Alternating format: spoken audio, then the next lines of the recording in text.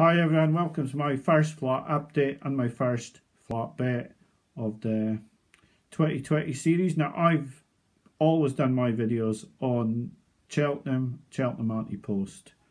I usually have a bank for Cheltenham of uh, £400 and I put Ante-Post bets off and bets just uh, before the festival starts and uh, they've been very successful.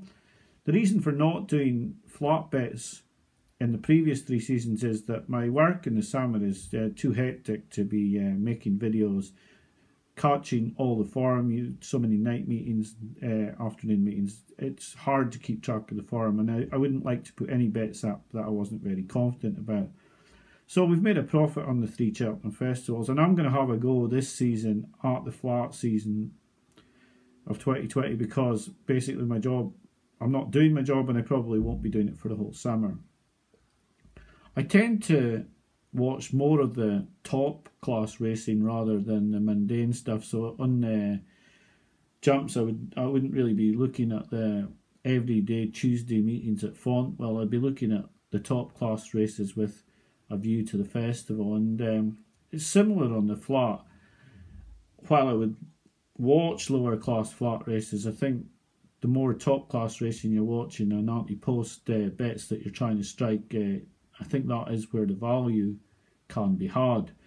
So today I'm going to talk about what I've seen in the previous uh, five weeks, basically on the top class racing. But I mean, there have been absolutely fabulous winners. Last week's winner, Ascot Art Power, wasn't really in a top class race, but it looks like it could be a top class horse. Horses have uh, gone forward this season um, and um, where you would have normally thought they would be at this stage in their careers. I'm talking about really Lord North, who won the Cambridgeshire last season, um, went forward a lot.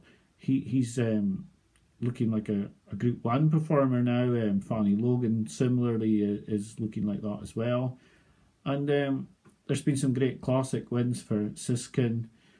Um, in particular, I think was uh, probably the most impressive uh, winner of the 2000 guineas in Ireland.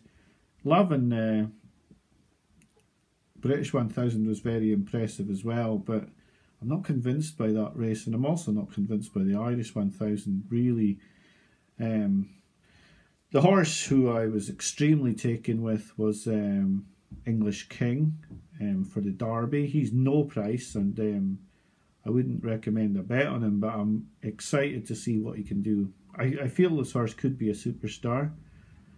And, and people will look at my bet and think, well, English King could go to the St. Leger. I, he could go to the St. Leger, but my thinking about him is that if he wins the English Derby, he's more likely to be an Arc de Triomphe horse than a St. Leger horse. The worry would be if he powers through the line in second or third that he will go to the St. Leger. But my bet on today's video, um, I'll go on to a few horses that I've found eye-catching after, apart from English King. I, I really have liked English King, uh, and I won't uh, be swaying away from him in the Derby. But I'll talk about a couple of Derby horses that could be overpriced, and I'll talk about a couple of horses who were beaten Ascot who I think may be horses to follow for the season. But firstly, I'll give you the bet, and it is in the St. Leger and it's on a horse called uh, Santiago of Aidan O'Brien's, who's 8 to 1 the Ladbrokes and Corals. Now, if I was having a bank, I would probably put £50 win of the bank of 400 Now, you'd adjust your bank to what you, uh, your stakes, if your bank was only going to be 100 then you'd obviously put um, an eighth of 100 so £12.50 on the horse. Now, he's 8 to 1 the Ladbrokes and Corals, and I think that's way over the odds I'd have him at. I'd actually only have the horse up at 92 5 to 1. He's won the Queen's Vase first time out. He was impressive. He may back up and go for the Irish Derby. It's very quick turnaround in eight days, but he may go for that race. And that's the reason I'm going to put him up now. In case he goes for that race and wins, I think his price will collapse for the St. Leger. He may not be quick enough for a one mile four race, but he was certainly quick enough to win the Queen's Vase in very, very impressive uh, style. I thought he was very good um, it augurs well. He stayed the distance very well, and he ticks all the boxes. Really, he's um, can he win? He's already won a great uh, Group Two. Will he run? I would say almost certainly he'll go to the St Leger. I mean, you can never be sure, but I would say uh, it's the most likely target for him at the end of the season, unless he proves to be top class at one mile four, and he may go for the arc. But I would see him going for the St Leger.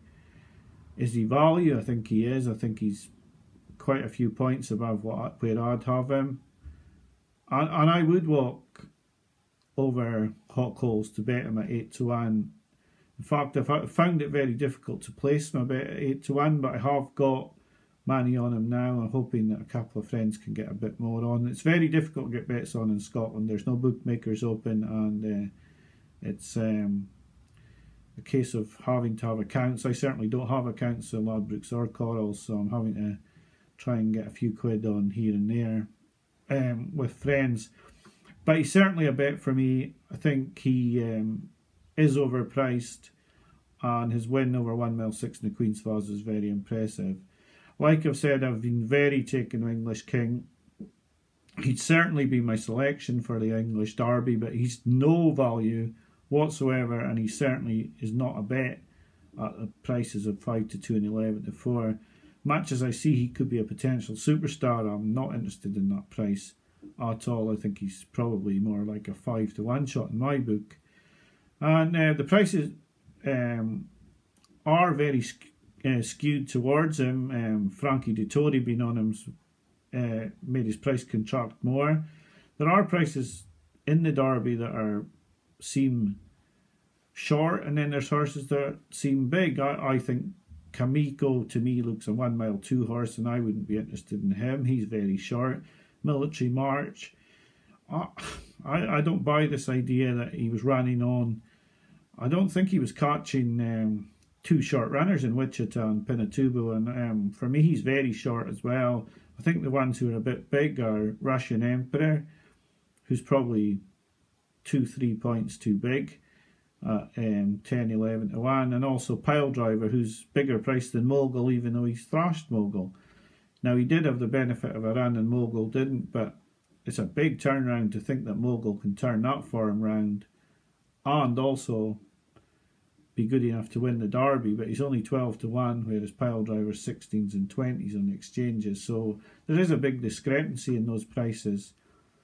Um, the one other horse who I looked up for a bet, the price contracted yesterday. It's very difficult, like I said, to get bets off. And um, the price on Hamish for the Ebor um, has contracted from 14 to 1 to 10 to 1. And uh, that sort of price, this distance away from the race, I wasn't interested in backing him in a handicap where I don't know the rivals he's likely to face.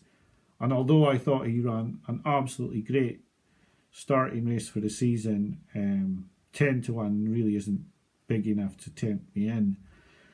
The two horses I want to talk about who I were eye catchers for me, um, I don't want to talk too much about the ride, but I would say if you can have a look at the run of Blue Mist in the Silver Wokingham last Saturday. I think he'll win a big handicap. I think he didn't get the run of the race, and let's not talk about the ride he was given. Um, hopefully, it can be put right later in the season. I think he's a good horse going forward. So that's Blue Mist out of the Silver Wokingham at Ascot on Saturday, and um, also on Saturday was Khaadem of Charlie Hills in the Diamond Jubilee. I think when he gets faster ground and a flatter six furlongs, he'll be a very, very good sprinter going forward, and I'm looking forward to seeing him.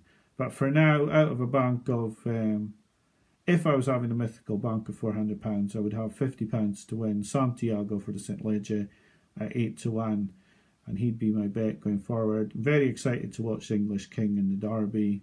I think he has the looks of a potential superstar, but I could be very wrong. Like I say on these videos, every time I make them, these are my views and not everyone is going to agree. I like to put them up so I have a record of what I've thought and how I'm doing going forward during the season. So the first bet, £50 win, Santiago, 8 to 1, the Ladbrokes and Corals for the St Leger. I'll be back to you probably after the Derby and we'll have a look at some of the other big races and maybe have an ante-post bet. Thanks for watching today and bye for now.